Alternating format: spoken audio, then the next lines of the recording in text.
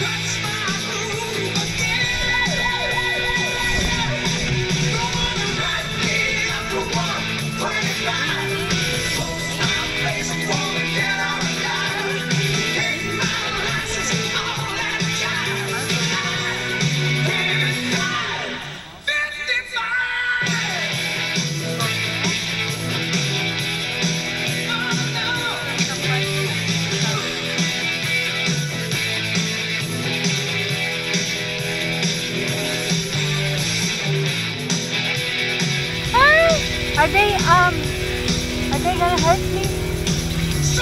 Are they gonna hurt me? No?